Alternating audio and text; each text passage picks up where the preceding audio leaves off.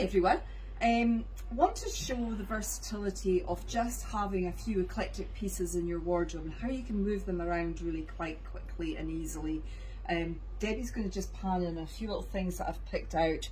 You can see a nice colour range going on in there. Um, but first of all, Linda, looking quite gorgeous in our tabard. First of all, I want to talk about though the amazing Vassalli pull-up cords. Now we have them in bright pink, we have them in ink, we have them in a few other colours that everybody else has. But you know fine, if you're going to get a pair of groovy pants for this winter, you're going to get the colours here at So You because we're rock colour. Now, what I've done here with the Vassalli pants is popped over our beautiful tabard by um. It is a absolutely divine piece of work and I've just got a little siren cardi over the top of it but I'm going to use that again so you're going to get a few ideas. Now Linda's going to show you off that beautiful little split.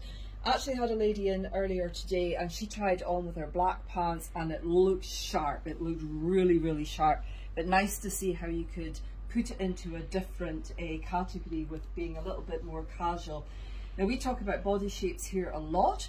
This is really suitable for a rectangular shape rectangular being straight down with very little definition between the bust and the hip.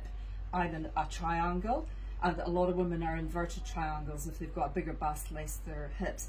Now if you're a rectangle, you generally don't have a waist, so to create that impression of waist, add a belt and that will pop your eye into that focus. So if we were going to pop the cardigan back over there, you would see that nice definition coming in there but awesome for a rectangular figure.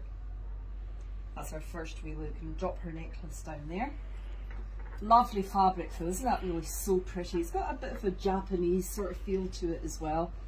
And people are a little bit scared of tabbers, come and try it on. Lovely wee piece. Now, where are we going next? Linda, we are going to pop on one of our little Spanish numbers from um, Tita.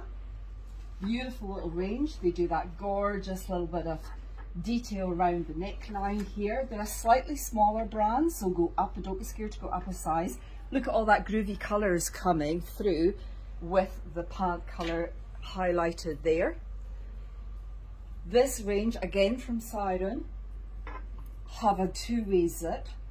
Great little pieces, amazing lightweight merino and really good quality. So I'm just going to pull her sleeve through and you'll see how all these colours start coming together tuck you in there, girlfriend. Don't worry about different necklines. All adds to the interest of the outfit. So the blue is now picking up all the blues through there. Then, I'm going to throw this groovy number on. We have these uh, as dresses in the shop, but I'm going to use it as an over jacket and pull all of that through again. Can you see what I'm doing here? So just a little different ideas. So if you don't like that jacket look there, why not put the suit on? And we're just going to throw this guy over the top. Again, from Vassalli. A suit is an awesome thing to have. You're going to be bold and brave to wear this. This is not the shrinking violets outfit, but then that's the whole point of this amazing shop, is that you could see how if you want to do the full look, you absolutely can, but you can see how you can pick out elements of it that would suit your personality. Love all of this, look. Now the last thing I wanted to show you was, if we take her back off, take that one back off, leave that one on, go back to the cardigan, start where we started. You always have a great way of throwing all your outfits together and myself and Linda are here to help you do that.